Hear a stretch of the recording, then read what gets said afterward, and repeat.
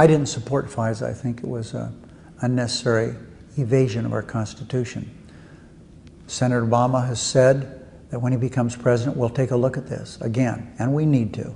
We need to make sure that there are protections for the American people with eavesdropping. Yeah, wouldn't it have been terrible if President Bush had gotten his way and Social Security monies would have been, been invested in this volatile stock market, up today, down tomorrow, down again, up a little bit, down again. Senior citizens would have been throwing their hands in the air. What President Bush suggested was a bad idea then and even a worse idea now. First of all, President Bush hates Social Security. It's a government program. He tried to privatize that, he lost. Medicare is a government program. He wants to privatize that.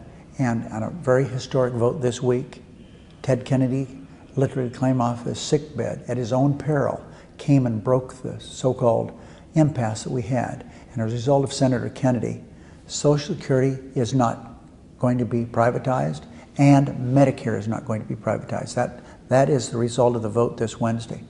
And because of that, doctors will not receive a cut. Senior citizens will still be able to have their doctors. Veterans will be able to, through TRICARE, be able to receive the medicine and the care that they need. And Bush lost again by trying to go outside government and privatize a program that is unnecessarily too privatized. Social Security is, is a great program, the most successful program, social, uh, social program in the history of the world. Medicare, an imperfect program, but a good program 99% of the people who are senior citizens are sick have the ability to go to the hospital because they have Medicare. During the time that the Republicans have held up by their filibusters the housing bill, about 130,000 Americans have lost their homes. 130,000 while Republicans have been filibustering, obstructing here in Washington. We need to do something about the housing crisis, and we need to do it three weeks ago, not today. We're going to pass the bill today. It'll go to the House. We'll get it back quickly. And hopefully by then, the President will join with us in recognizing that the housing market is in deep distress and he'll sign the bill. As far as costs that American people are bearing with energy, when the President took office, gas prices were $1.46 a gallon. Now the average is $4.12 a gallon and going up. We need to have the President be proactive to do something about this.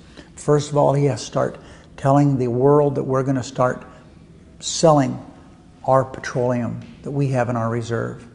We need to make sure that people understand that we have to do something about speculation, and the president should join with this, with us on this. We have a bipartisan piece of legislation we're working on here in Congress to slow down speculation.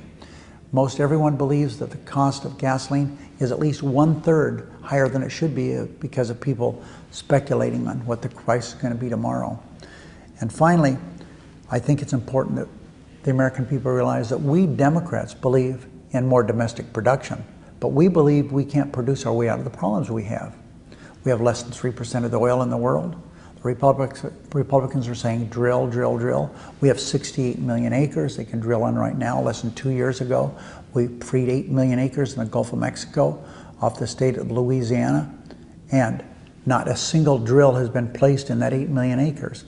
This is only something that the oil companies has trumped up more drilling so that they can keep this artificially low quantity of oil and raise the prices of oil as they have done. Oil companies made last year 250 billions of profit. When is enough enough?